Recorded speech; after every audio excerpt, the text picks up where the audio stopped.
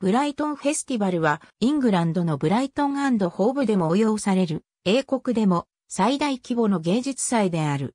その歴史は1966年まで遡り、2006年には23日間にわたって200以上のイベントが開催され、50万人を超える監修を集めた。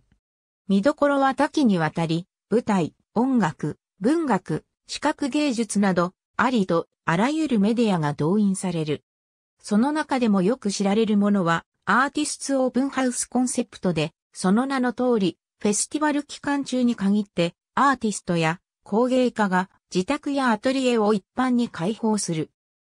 ブライトンフェスティバル合唱団は1968年に結成され、芸術祭を代表する DV8 フィジカルシアターやフランティックアセンブリーといったカンパニーと共演することを伝統としている。2006年には、ブライトンを本拠とするイエス、ノープロダクションズの新作のこけら落としに携わっている。フェスティバルは、また、多様な表現フォーマットのクロスオーバーを推進している。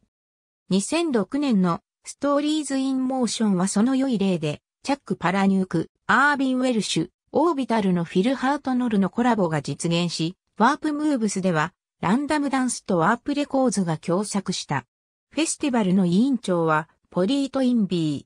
The arts of the state could yet prove a political weapon by Polly Toynbee、The Guardian、May 30 2006。2008年5月18日閲覧。ブライトンフェスティバルホムペ。2008年5月18日閲覧。ありがとうございます。